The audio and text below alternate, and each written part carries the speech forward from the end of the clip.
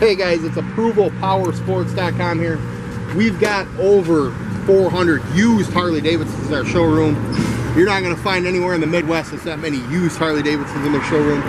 Um, we got guaranteed financing. We got leasing programs, out-of-state financing available, shipping. We can assist with that nationwide. Your trade-ins are always welcome here.